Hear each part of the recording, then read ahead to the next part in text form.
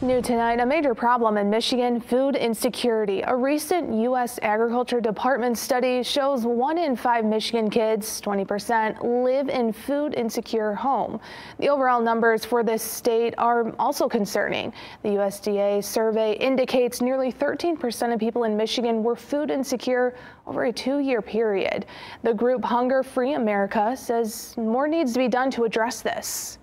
There really is a hunger crisis. People are hungry right now in our community and across the state. 1.2 million Michiganders lived in a household that was food insecure from 2020 to 2022. People in the state of Michigan can't always afford enough food. The USDA defines food insecurity as the limited or uncertain availability of adequate and safe foods. Between 2021 and 2023, there was a 67% spike in the number of Michiganders who didn't have enough food over just one week period. Joel Berg is Hunger Free America's CEO. He attributes the current hunger problems across the country to pandemic relief ending. More money was given to communities to address hunger. People were receiving more SNAP benefits, and all that went away. Berg says food banks can only do so much to address the issue. Food charity is a vital way to fill in a few of the gaps in the safety net, but we need to be honest with ourselves. That's not a serious response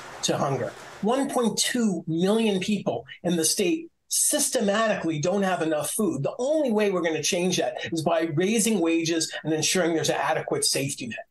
It's not just adults going hungry, kids also face food insecurity. In Michigan, Governor Gretchen Whitmer signed into law free breakfast and lunch for all K through 12 public school students.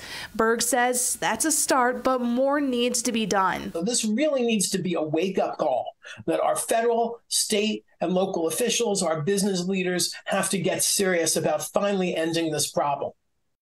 Berg hopes to see benefits that were added during the pandemic brought back and made permanent. He also believes that raising wages will help ease the hunger crisis.